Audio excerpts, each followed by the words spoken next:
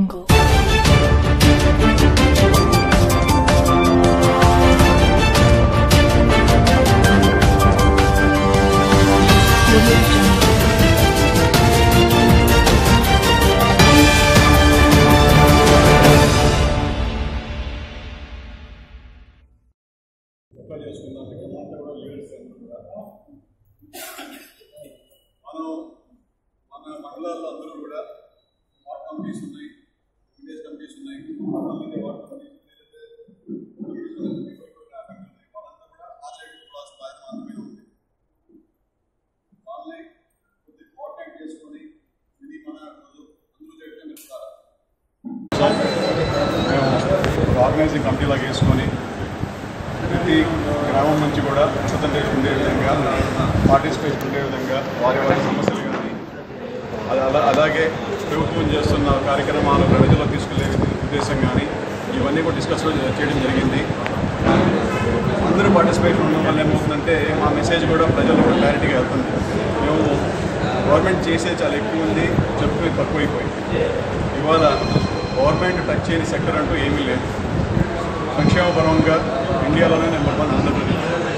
రైతులు కానీ ఎస్సీస్ కానీ కాపులు కానీ బ్రాహ్మణులు కానీ ఎకనామికల్ వీకర్ సెక్షన్ కానీ ముస్లిమ్స్ కానీ ఎవరిని కూడా చూసుకున్నా కూడా ఏ విధంగా కూడా వారికి ఫైనాన్షియల్కి కానీ ఎడ్యుకేషన్కి కానీ పెళ్ళిళ్ళకి కానీ పండుగలకు కానీ గవర్నమెంట్ పెద్దానికి ముందుకు వస్తూ ఉంది. పండుగలు వస్తే ముస్లిమ్స్కి రంజాన్ తోఫా కానీ లేదా చంద్రగన్న కానుకలు కానీ రకరకాలుగా ప్రజలను ఎంకరేజ్ చేస్తూ వారి వారి కష్టాల సుఖాల్లో పాల్పంచుకున్నాం అట్లని చెప్పి మనకు గవర్నమెంట్కి ఓ డబ్బులేం లేవు. లోటు బడ్జెట్ ట్యాక్స్ కలెక్షన్ తక్కువ అయినా కూడా బాబు గారు ఒక మ్యాజిక్ లాగా చేస్తున్నారు. ఎక్కువ డబ్బులున్న తెలంగాణ మనకన్నా సంక్షేమ కార్యక్రమాలు బాగా వెనుకబడిపోయింది. వాళ్ళది ధనిక రాష్ట్రం అని చెప్పుకుంటూ ఉంటారు తెలంగాణ. కానీ సంక్షేమ పరంగా చూస్తుంటే మనం ఒకటిన్నర లక్ష ఇక్కడ మార్పీ చేసాం వాళ్ళు ఒక లక్ష రూపాయలు మార్పీ చేసి చదువుకుంటున్నారు ట్రాక్టర్లు అయితేనేమి ఊరికి ఇవాళ ఆల్మోస్ట్ పన్నెండు పదమూడు ట్రాక్టర్స్ ఇచ్చున్నాం సబ్సిడీలు. హార్వెస్టర్స్ ఇచ్చున్నాం.